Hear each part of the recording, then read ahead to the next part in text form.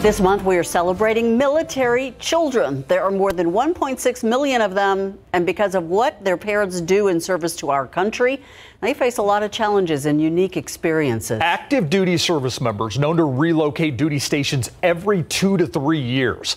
Many of those service members bringing along their families with children.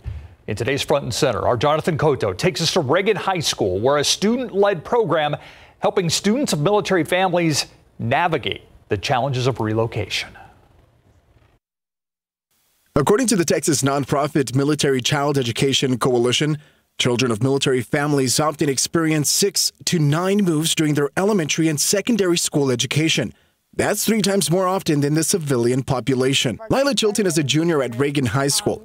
Her dad is an active duty service member and knows firsthand the experience of regularly being the new kid at school. You're very nervous, um, your nerves are all racked, and you're very unsure of what's going to be coming next. Lila says continuous relocations can be overwhelming, but make military connected children that much more resilient and adaptable. You just have to go with it. You have to adapt and you have to grow with your environment and your situation. To make those frequent transitions a little um, easier, the Northeast Independent School District has incorporated a um, program called Student to Student. We meet with new students as they come in or students that are leaving Reagan to just help them either as they like come in and get used to the environment and sort of like learn like what's around them, the options that they have. Fatima and Laila help provide new students tours of the campus, eat lunch with the new students, and provide encouragement, creating a culture of inclusion. Going. Fatima says okay. S2S is, is important because Center. she too understands the feeling of being in a new environment. So I kind of just was thrust into this new school mid-semester.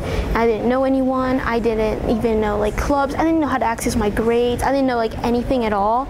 So I felt very like lost. Ronald Reagan High School has over 3,000 students and in a campus with so many people, student-to-student program leadership says it's important that every military child arriving here is made feel welcome and are set up for success. So we really try to meet it's their unique needs that they have um, because they all come in from different places and we want to make sure that we are here to support them in every way that we can. Northeast ISD has over 6,000 military connected students. Over 600 of those are here at Reagan High. Students in the S2S program say it really benefits new students who are at risk for depression and anxiety due to relocation. When they're first in that first meeting with us, they're really shy, they're like quiet, they look really like scared to be there. But then once I see them like around the hallways and I stop and say hi to them, they look so much happier and they're like just glowing. And I love to see it because I love seeing them grow from the quiet person that they were like unsure of their environment to like being like thriving where they're at. Northeast ISD is helping military connected children meet their academic, social, and emotional needs at every grade level and at every campus. That's what our student leaders are doing on campus with this program is they are showing that we are working toward 100% acceptance for all students. Reporting front and center, Jonathan Cotto, KSAT 12 News.